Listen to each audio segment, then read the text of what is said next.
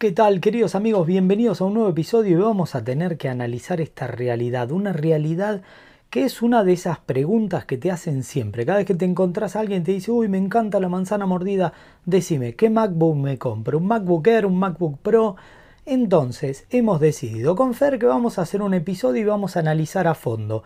Pero este episodio es un episodio que no depende específicamente del modelo que quieras te voy a explicar el concepto global de las diferencias de MacBook Air y de MacBook Pro para que independiente del momento que veas este video, yo te voy a dar algunos parámetros, pero independiente del momento que veas este video, vas a poder comprender qué motivos generan esa decisión, qué motivos inclinan la balanza para la serie Pro o para la serie Air, en un nuevo episodio en tu canal del universo Apple en español, La manzana mordida. Comencemos. Primero vamos a comenzar analizando cómo Apple se define a sí misma en el segmento y cómo ellos marketean el producto, siendo totalmente diferente. Aparentemente el MacBook Air lo presentan como una unidad ligera, portátil, orientada a estudiantes con bajos requerimientos técnicos, con una persistencia obviamente de batería bastante importante a lo largo del día, pero orientado, y por eso su nombre Air, a la ultra portabilidad. ¿Cuál es el concepto? Sería el MacBook más liviano que podés tener con un sistema operativo completo, porque las otras alternativas es ir a un iPad, que es más liviano todavía. Pero dentro de una experiencia de sistema operativo completo con todas sus ventajas, marketean, es decir, deciden una estrategia de marketing y de venta específica para estudiantes.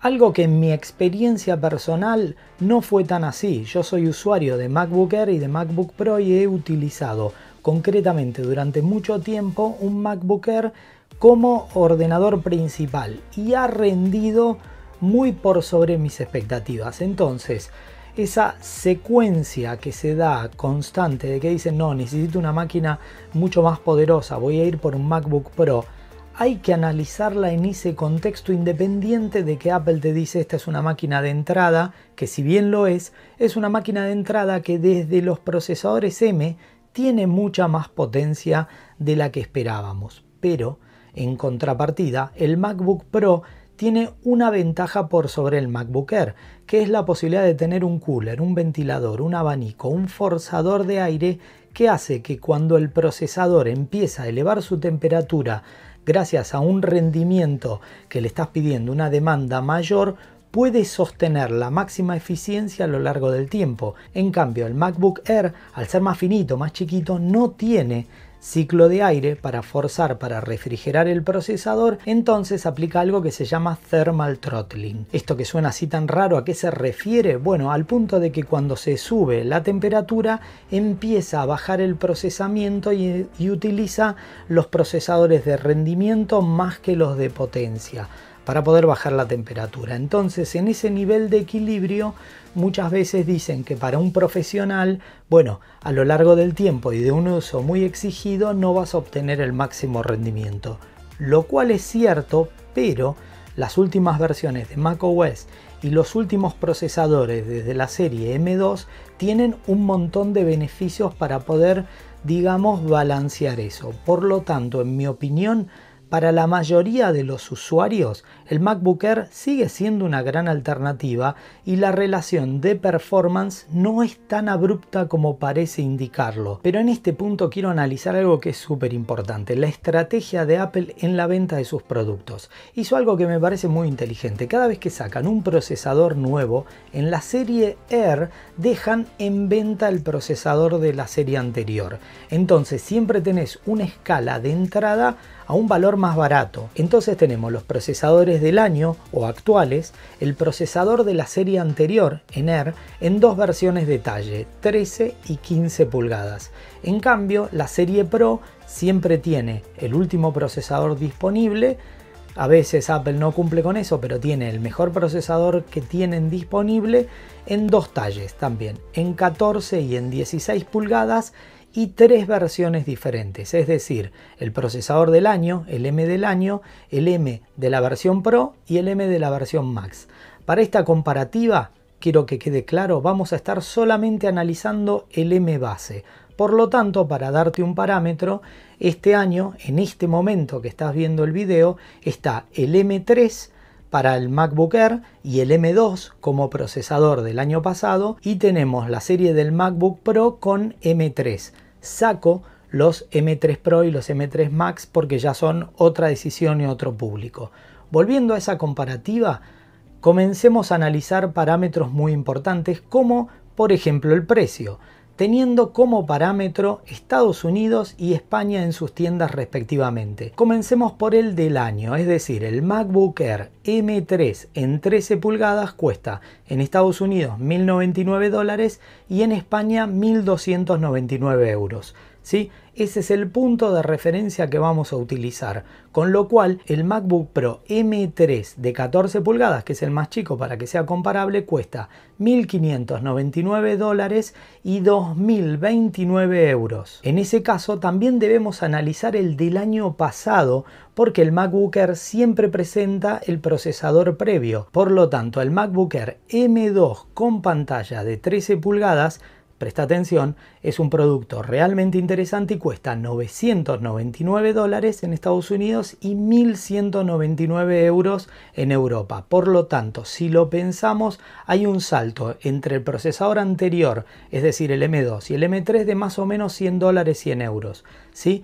Ahora bien, cuando hablamos de pantallas, para que tengamos presente, las pantallas no son tan así, porque hay puntos intermedios. Por ejemplo, cuando yo te hablo del MacBook Air de 13 pulgadas en comparativa del MacBook Pro de 14, el MacBook Air de 13 pulgadas en realidad es 13.6 y el MacBook Pro es 14.2.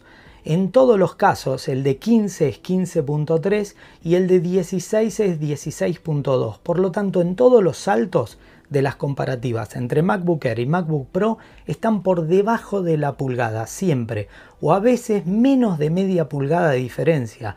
Entonces son muy comparables.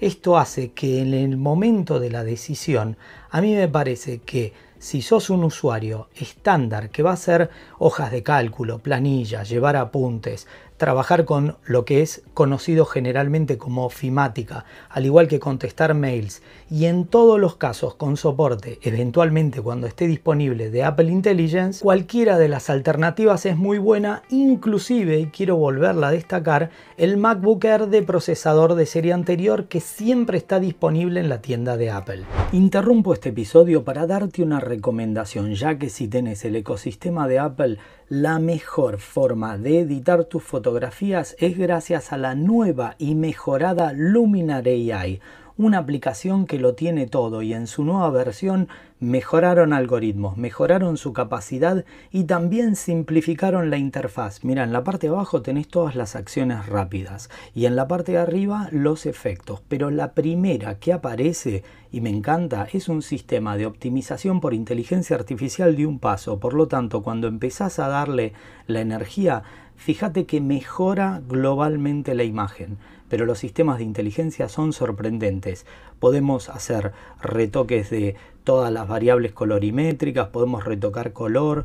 Incluso te voy a mostrar algo. Esta es la versión original que salió antes que Apple Intelligence para hacer variaciones simplemente con cuadrantes.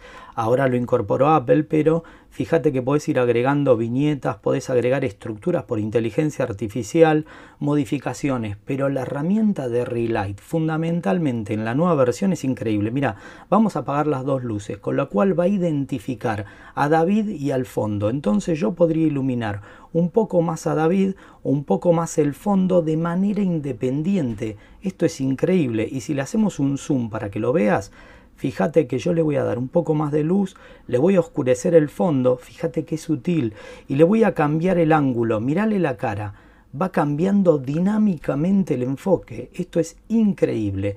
Por último, te quiero mostrar una herramienta que me encantó y que facilitaron mucho, que son los filtros. Simplemente cliqueas en esa parte y le puedes ir cambiando los filtros y cuánto querés que se aplique de ese filtro a la colorimetría de la foto, haciendo Em, efectos directos sobre la imagen.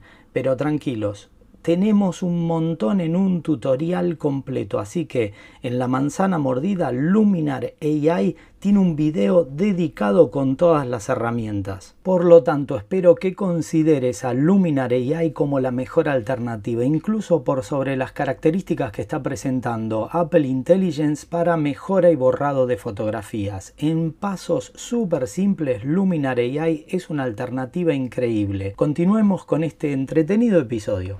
Pero volviendo a retomar el tema de la pantalla, el cambio no estaría tanto dado en el tamaño ni en la relación, sino en dos de las variables que son importantes, que es la pantalla en sí. La primera a indicar es el brillo, que en un caso está en 500 nits y en el otro llega hasta 600 pero en el caso de el MacBook Pro a diferencia del MacBook Air no solo es retina sino que es Liquid Retina XDR con capacidad de alcanzar ProMotion de hasta 120 Hz. A ver, esto es re bueno, fundamentalmente para los que editamos videos o que utilizamos imágenes o que jugamos o que tenemos grandes expectativas. Para la mayoría de las personas yo le he mostrado pantallas de 60 Hz y de 120 Hz y dicen sí, se ve un poco más fluido, porque es la tasa de refresco con la que parpadea la pantalla. Es el doble de velocidad, por lo tanto en movimientos bruscos se nota mucho más fluido. Pero para otras personas no es un cambio tan significativo y esos 100 nits de brillo tampoco le representan. En mi caso sí son notorios y valen la pena, pero eso dependerá de cada uno de los usuarios. Ahora bien, si el MacBook Air se marketea como un producto ultra liviano, vamos a analizarlo y sí, hay un cambio en el peso y también en la relación de cuerpo. Por un lado es más pequeño, tiene un perfil de altura diferente, lo cual lo vuelve mucho más portátil, lo puedes poner adentro de un bolso y mide en todos los casos menos que un cuaderno y eso lo vuelve muy interesante. Y en materia de peso, en efecto, el MacBook Air es más liviano. Entonces, a la larga, sí es un producto mucho más portátil y eso tiene dos beneficios. El primer beneficio es que al no tener un forzador de aire, al tener limitadas capacidades de sonido, al tener una pantalla que no representa ProMotion, la relación de batería es muy eficiente, brindando muchas horas de autonomía, a pesar de que el MacBook Pro al tener un cuerpo más grande lleva una batería que da una autonomía diferente, pero a lo largo del consumo, en mi experiencia, el MacBook Air tiene un mejor rendimiento de batería que el MacBook Pro, dependiendo de las condiciones de uso de cada uno de los particulares usuarios y su metodología, cuán iluminado usa el teclado, la parte de la retroiluminación, o cuánto van a usar el forzado del brillo, a diferencia de optimizar con los sensores en ambos casos.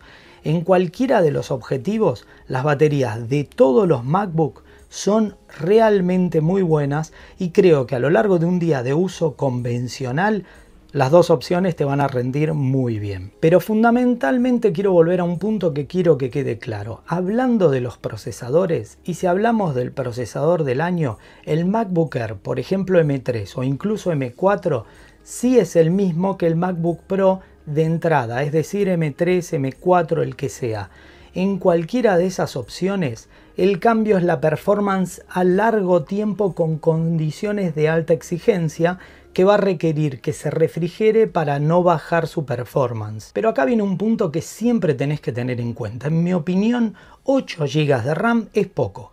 En mi opinión y experiencia personal, muchas veces noto que trabajando con muchas ventanas abiertas o como hacemos los usuarios de que tenemos por ahí planillas de cálculo en el navegador y tenemos otras ventanas en el navegador y múltiples escritorios, sí noto que necesitas una expansión de memoria. La serie de procesadores M4 comienza en 16 GB de RAM, con lo cual es un punto en el que todos son comparables, al igual que el almacenamiento que dependiendo de la serie Aero o de la serie Pro podría comenzar en 256 o en 512 GB. El almacenamiento depende de lo que vos quieras guardar en tu ordenador a diferencia de lo que puedas guardar en la nube. Pero la memoria RAM sí me parece que a veces en 8 GB se queda corta. Y recordad que el otro punto que es importantísimo son los puertos, teniendo dos puertos USB del tipo C en el MacBook Air y dos puertos USB 4 en el MacBook Pro también incorporando una salida HDMI, por lo tanto si vas a dar clases o sos un fotógrafo aficionado, tenés la posibilidad de poner tu tarjeta SD directamente en la lectora o conectar por HDMI un monitor externo sin ningún tipo de accesorio o un cable conversor de USB del tipo C HDMI. Entonces, en ese aspecto, y ya que su cuerpo es más alto, sí se notan esas ventajas y la posibilidad de usar una lectora. Muchas personas lo compensan con accesorios externos, así que ahí también tenés una decisión de compra posterior. Pero esos accesorios oscilan entre 50 y 100 dólares y acordate que la diferencia de precios también merece que lo calcules. Por lo tanto, te doy mis conclusiones finales. En las dos oportunidades yo utilicé MacBook Pro, incluso en muchos viajes como ordenador exclusivo, editando videos en Premiere, editando en CapCut, haciendo todas las videoconferencias, trabajando en los podcasts de la manzana eh, mordida, haciendo todo a la vez en un MacBook Air sin mayores problemas. Como te digo, yo compré el de 8 GB y sentí por momentos que la RAM era insuficiente, hoy recomendaría analizar la posibilidad de 16 GB o directamente serie M4 con 16 GB. En cualquiera de las visiones que vayas a hacer, el MacBook Pro evidentemente a lo largo del tiempo de manera sostenida va a tener una eficiencia porque al tener un forzador de aire sostiene la temperatura de los procesadores. La decisión económica sí es importante entre un MacBook Air y un MacBook Pro. Entonces debe representar un punto muy interesante. Desde la serie M2 tenemos Dynamic Caching, tenemos una optimización de memoria, así que para mí se han, a ver, en vez de separarse entre un MacBook Pro y un MacBook Air, se han acercado, pero no porque bajó el rendimiento del Pro, sino porque subió el rendimiento del Air. Lo que hizo que la decisión por estas unidades sea cada vez más atractiva fundamentalmente desde que abandonamos Intel para decidir por M. Entonces, en mi opinión, depende específicamente de cuánto dinero querés invertir, porque en cualquiera de los dos casos vas a estar muy bien cubierto. Y espero que este resumen te haya servido, te haya permitido tomar la decisión. Yo al final, después de todos los experimentos, pasé mi MacBook Air a MacBook Pro y estoy súper conforme, pero recuerdo todo el uso con el MacBook Air sin mayores problemas. Y también recuerdo con mucha alegría lo súper portátil que era porque cuando llevas la mochila durante muchas horas el peso lo sentís. Y bueno, espero que si te gustó nos des un like y consideres también suscribirte y ser miembro de nuestra comunidad, La Manzana Mordida Plus. Tenemos regalos increíbles como este que estás viendo y además tenemos cursos, un podcast dedicado, un grupo de Telegram y una web para todos nuestros VIPs. Solo me queda despedirme, como saben mi nombre es Fabián Fernández, somos La Manzana Mordida, te traemos los mejores contenidos y siempre estamos para lo que necesites. Así que suscríbete y seguinos. Nos vemos en más episodios. Adios. Ciao, ciao.